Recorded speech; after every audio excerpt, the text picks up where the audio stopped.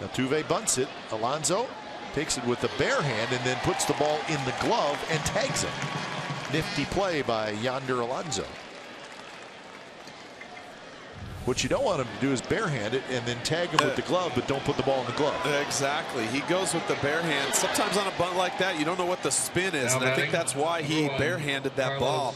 He wasn't sure which way it's going to go, and then you safely